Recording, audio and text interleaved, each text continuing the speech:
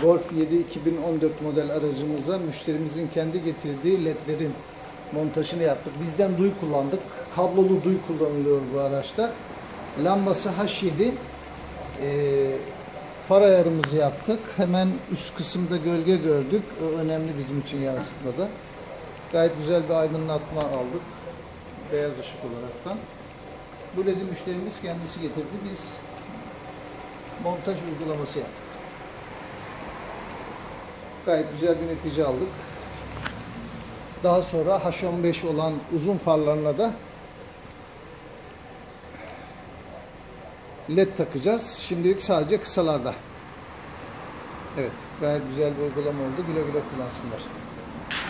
Siz de kendi ürününüzü alıp bize getirip montaj yaptırabilirsiniz. Video altındaki iletişim bilgilerinden bize ulaşabilirsiniz.